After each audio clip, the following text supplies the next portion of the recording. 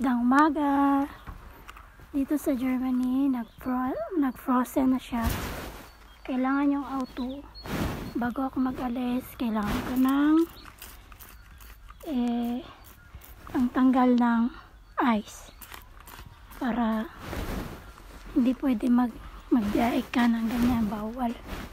Baka mag-cause ng disgrasya. Kaya kailangan mo siyang sprayan ng ano ba to? Anti-frost. Ito yung para matunaw yung ice niya sa salamin. Yan. Dito din.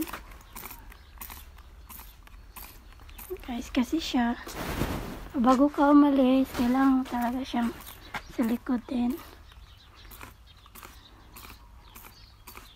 Ito special to pang winter lang to gamitin. Para lang talaga to sa ice. Meron din sila ng tubig na panglinis yung pang ganun sa sa ano niya. So drive na po ako. Punta na ako sa bili ako ng bread. Saglit lang. Natakpan yung camera. Ayan, hirap dito. Ano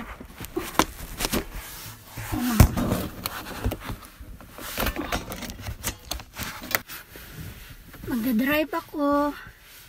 Bili ako ng bread. Pang breakfast na. Punta ako sa city.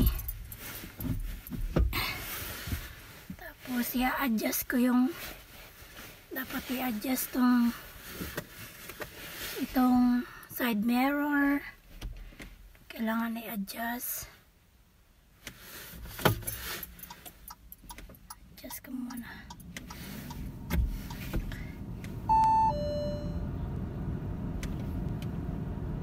Babiyay ako. Bibili ako ng pandisan ang malaki yung pandisan na dito.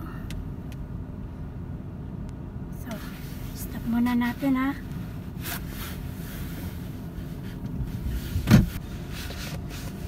Biyahe na ako. Start ko muna yung sasakyan.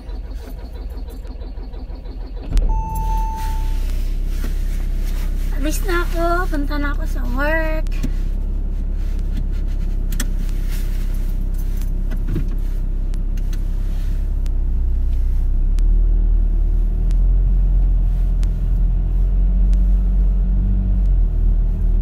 Yung bahay namin. Kailangan siyang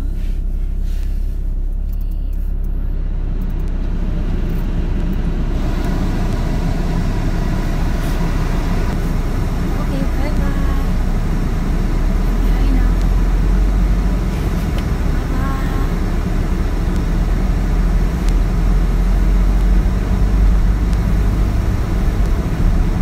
Tatay po sana. Hmm.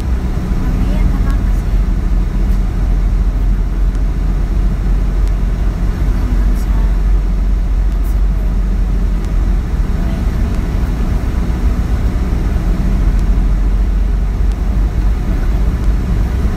Kaway kaway ka pag makita ka ng bahay.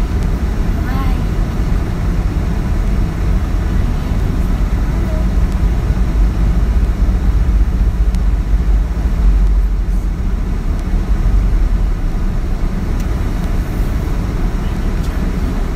Lamig kaya.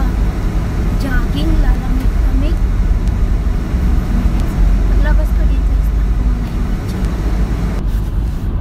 Kaya gusto gusto ko magbiyahe ng linggo kasi wala masyadong sasakyan ba wala talaga sasakyan tulog pa sila pag Sunday. Tapos wala yung mga malalaking sasakyan kasalubong mo. Yung mga mga 10 wheelers wala yung basta linggo. Kaya gusto ko mag-drive ng linggo. Ganda siya mag-drive. Tahimik yung kalsada. Tulog pa yung mga tao, wala work eh. Tsaka dito sa Germany, walang bukas na mga mall, mga supermarket, sarado sila. Mga restaurant lang. Tsaka gasolinahan. Yun. Sayang mo.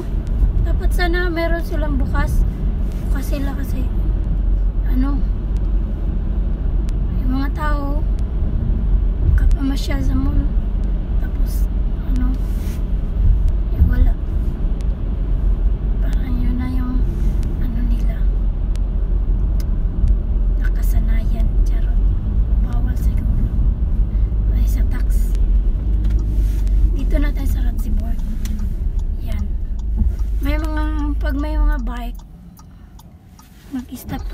talaga kasi sa kanila yung sila yung may may karapatan na maguna makadaan. Tsaka yung mga tao na maglalakad dito sa city pag around the city ka na yung drive mo lang 50 50 ko lang talaga kasi pag naglampas ka baka may camera dyan pipicturean ka automatic mag-blick yun. Tapos papadala ka agad depende yun sa lampas ka. Mampas ka ng 56 minsan magkakapadala yan sa bahay mo. Nandun yung picture mo tsaka yung mukha mo. Nandun. Tapos nandun yung presyo. Wari, 56 na lumampas ka ng 6 bayad dati yung asawa ko. 15 yata yun 15 15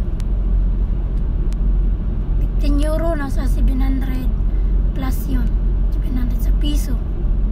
Kaya igat-igat dito may mga lugar dito sa Germany na may mga naka-install na sila ng mga camera yung matatandaan ko pag bago ka dun sa lugar na yun ingat ka talaga kasi yung iba naman naglalagay ng mga ano sa cellphone. Kasi nila "Tsk, may camera dyan ganun yung tawag dun eh ano green hmm, tagal na green ah so ganun lumampas ka ng ano mas mahal yun. Lampas ka ng mas mas mahaba. Nasa city na ako eh. Tapos meron dito mga yung pag dumaan ka sa mga school yung pinakamabagal na takbo. 30 30 meron pa yan pag doon ka sa my village maraming mga bata yung tahimik ba? Tahimik siya pero may mga bata sampu lang yun. Sampu 10 ka malang takbo. Mo sa dito ka 50 awa buti na wala pa akong violation.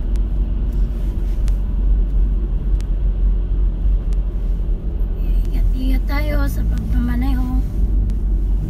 Kasi dami silang pwedeng pagkapirahan nito pero kada malaking tax malaki pa yung penalty nila pag nag ano ka pag nag eh, patakbo ka ng mabilis buti ko wala kamera kaya lang minsan naman pag nandun inyo nagdadrive ka wala kang lisensya. Tawag yung mga kapitbahay sa police tawag yun. Ha yung kapitbahay namin dito nagdadrive walang lisensya. Punta ka ng police ganun. Bayad ka. Hindi ka naman kuha ng lisensya may penalty